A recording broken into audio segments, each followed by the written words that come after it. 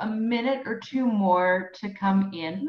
Um, and then we'll we'll get started. But I may as well use that time because I want as much time as possible to go to to Dr. Ron Wolfson. Uh, just to introduce, and Ron, I hope you'll forgive me. I have not looked up all of your many accolades for this particular introduction um, because. Ron is someone who, when he speaks, he will introduce himself in the best way possible. Um, but really, the reason that we had Ron come speak to us a couple years back and do a board retreat and a Shabbaton and so much else uh, is because of his book, Relational Judaism, which really um, reminded, I would say, the Jewish world that ultimately uh, we're not about programs, we're about connection, we're about relationship, we're about um, being, as that Cheers song goes, you know, where everybody knows your name. Um, and how we how we make that happen and of course now we're facing special challenges as to how to make that happen when we see each other through these little rectangles all of the time and are unable to um, to get close in the ways that we're used to getting close. I suppose, Ron, that having our names in the corners of the screen is like a whole new version of the name tag. We'd never quite managed our name tags, but now we we know each other's names, so that's something.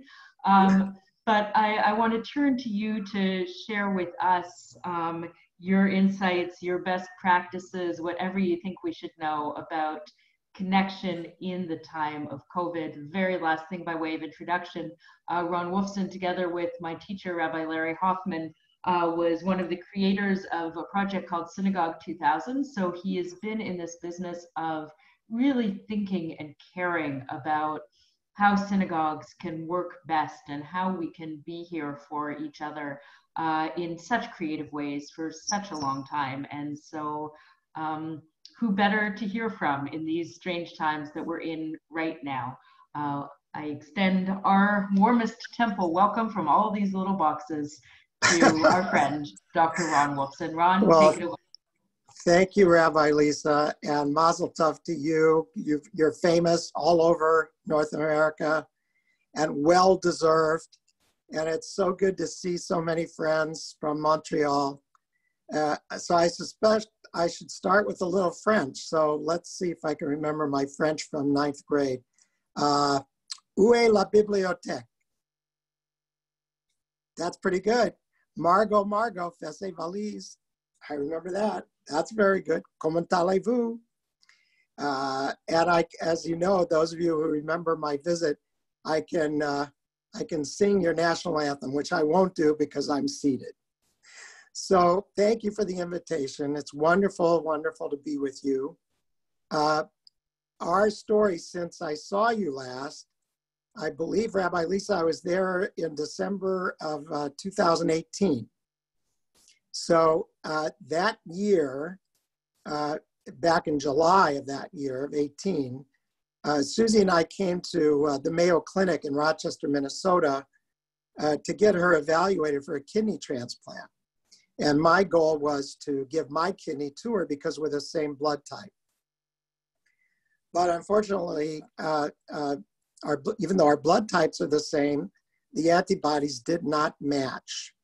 So of course, Susie, my wife Susie, who gives me all my best uh, lines, uh, said to the doctor, well, he wanted to give me his kidney, but he already gave me his heart. Isn't that the sweetest? I mean, just the sweetest.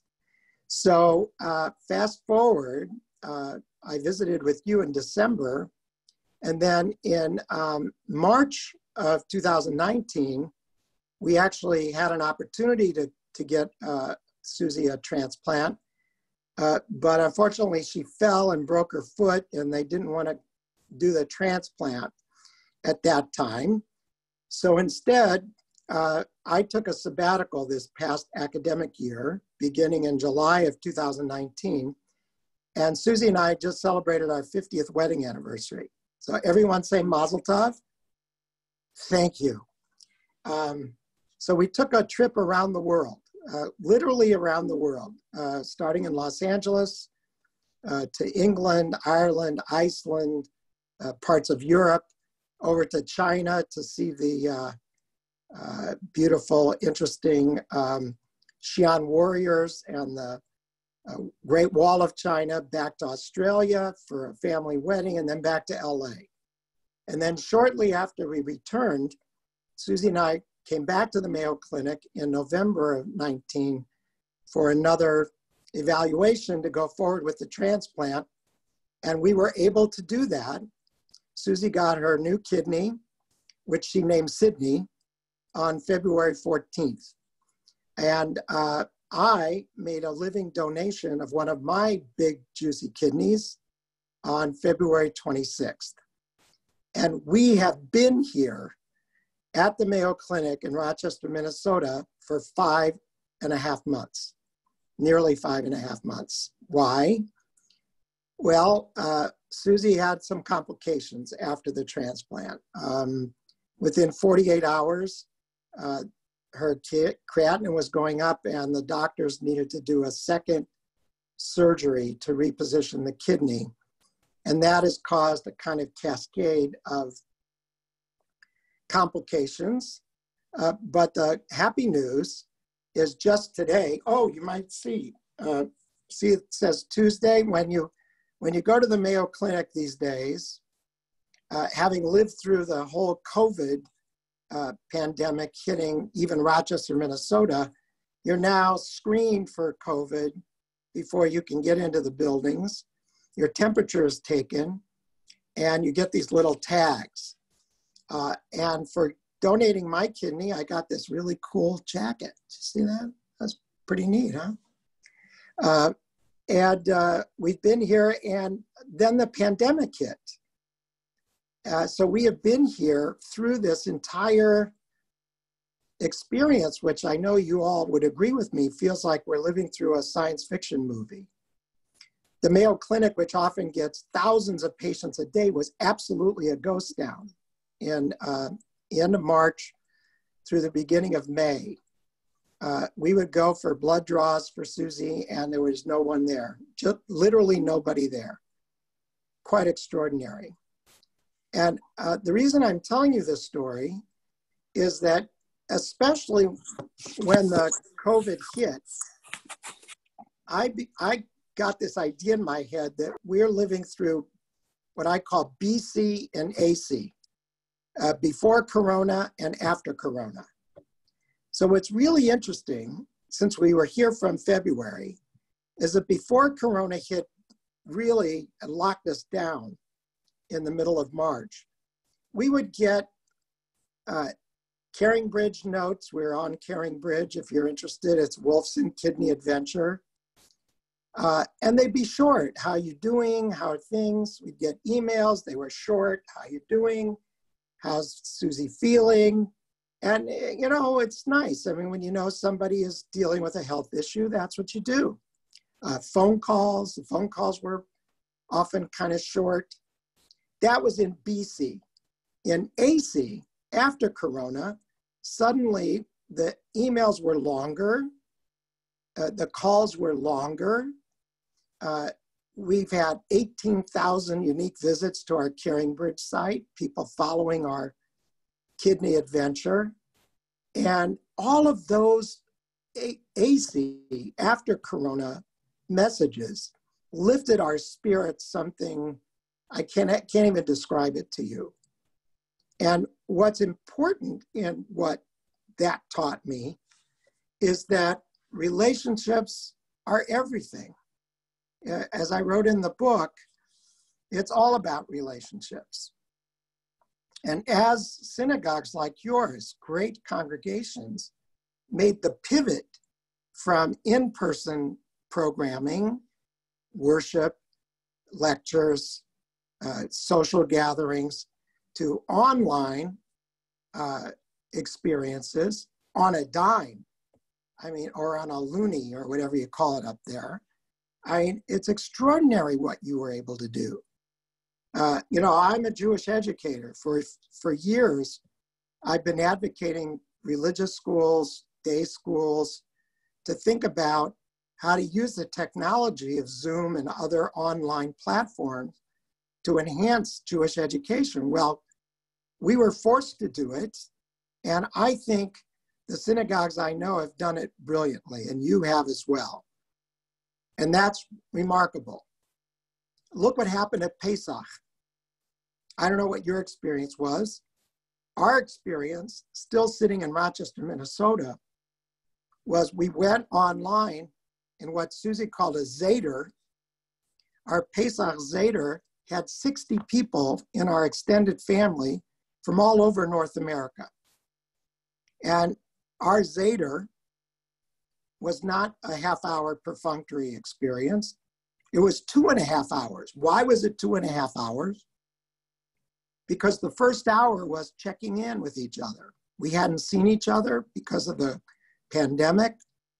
So the 60 people had a chance for a minute to check in, to say hello. And as you know, when we talked about when I visited with you, when you think about how do you build relationships in a congregation, there are really several ways, but the first and most important way is to share our stories. To share our stories is the first way we build relationships. The second way we build relationships is to share experiences together. Well, my goodness, this is the most shared experience in the history of mankind with 7.8 billion people locked down at one point. All of us experiencing what would be like a hurricane or a tornado or an earthquake where we had to shelter in place. So once we've shared an experience together, we now can think about what have we learned through the experience? As educators, we call this experiential education. It's like, you know, taking a trip to Israel. Well, it's a wonderful experience. What have you learned from the experience? Summer camp. What have you learned from the experience? So the question is, what have we learned from this experience about relational Judaism? And what I can tell you very simply is that the congregations like yours that invested in the idea of building relationships in so many different ways, including small groups of people to get connected with each other. Uh, that investment has paid off big time. I've done several of these with congregations, these checking in uh, experiences on Zoom, and the congregations that have done this work of building relationships have really uh, flourished under this tremendous burden, really, uh, in ways that I, I, I, I'm just so grateful uh, to hear that. So the question is, how do we move forward in this relational engagement work uh, now? And uh, what I'd like to remind you of uh, before we get to some, I hope, dialogue back and forth, is that there are kind of three tiers of relational engagement to think about. The first is how does the congregation and the people of the leadership of the congregation, your clergy, your teachers, your staff, your lay leadership, your board, how do you make connections with your members? And what I hear from many congregations is that in addition to these Zoom programming efforts, uh, congregations are simply picking up the phone and calling people. And as you might remember, I had been suggesting that for years. And what's interesting in BC before Corona is that a lot of congregations would make these phone calls, maybe at before the high holidays or at Pesach. And I'd get reports that, well, people are so busy that half the time you got an answering machine, uh, you know, or an answering service on your on your phone. Well, guess what?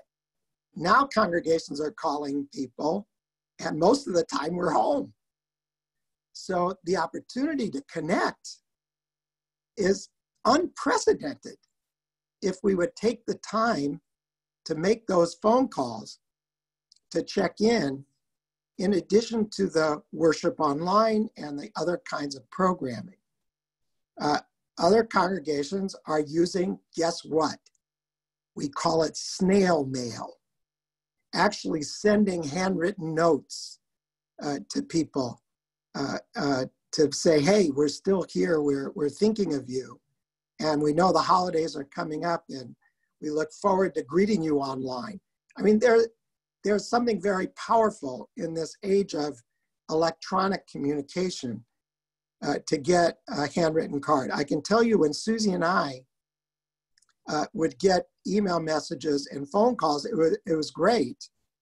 But a number of our friends and family, especially our little grandchildren, Ellie, who's now nine, and Gabe, who is seven, uh, sent us mail, real cards, greeting cards, get well cards in the mail. So I, that's another thing I would recommend you think about doing, uh, especially before the holidays. So that's the first tier, sort of how do we make, continue to make those connections between the leadership of the community and our members. Then the second tier, which I know you've worked on, is how do we connect people to each other? And uh, I think the Relational Judaism Handbook was out or just coming out when I visited with you. But that book was a follow up to Relational Judaism that I wrote with two wonderful rabbis, Rabbi Nicole Auerbach at Central Synagogue in New York, and Rabbi Lydia Medwin in Atlanta at the Temple. Not the Temple, the Temple. So both of them are full time engagement rabbis in their very large Reformed congregations. That's their main job is to work on this engagement work. So much of that handbook has to do with small group development. And you build small groups in four ways, just to remind us.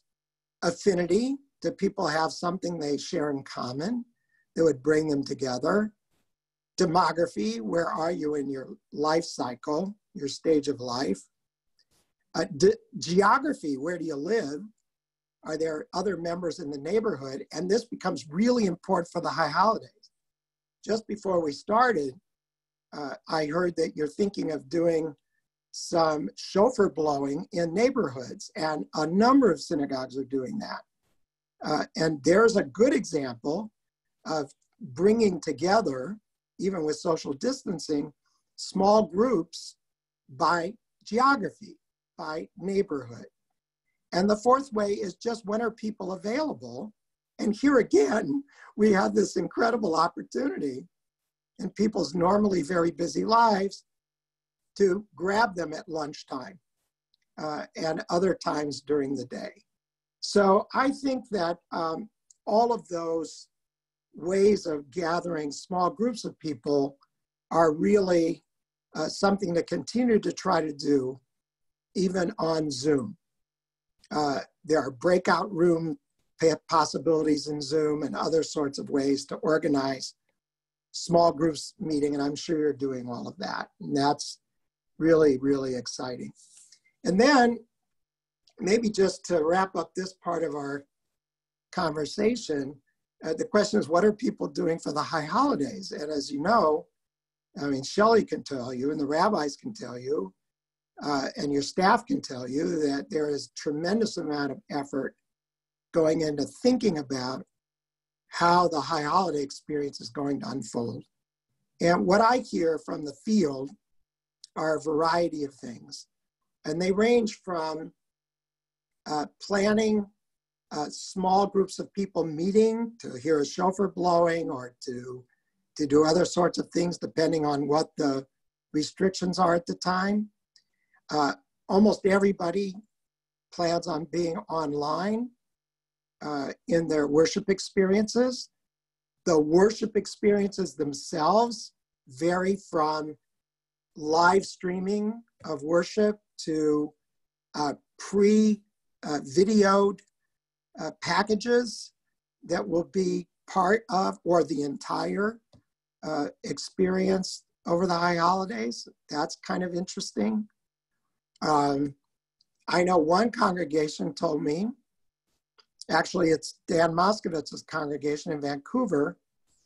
Uh, they're organizing uh, through the platform VidHug, uh, if you're familiar with that, uh, to have different members of the congregation uh, video short little high holiday greetings, and those will be edited into a, a montage that will open up Rosh Hashanah services. Uh, and I think that's a wonderful thing to do uh, so that people can see each other uh, as a part of the Rosh Hashanah experience. Uh, and then uh, the last thing I'll say about the most creative thing I heard about was uh, to do to try to do in-person experiences over the high holidays. I know this won't fit your congregation because I've been there, but a large congregation in Dallas, Texas, that has a massive parking lot is hiring a cherry picker and they're having shofar blowers in three different parking lots blowing shofar and they're just going to be drive-in shofar blowing. So people will stay in their cars in order to hear the shofar from uh, a cherry picker shofar blower. I think it's a remarkably creative idea. And uh, we'll see all sorts of creative things uh, coming up in uh, the holidays experience so you know what, Rabbi Lisa, I think uh, I'll stop there and maybe you have some questions and we can ask other people if they would like to ask some questions and we'll have a conversation in our time remaining. How would that be?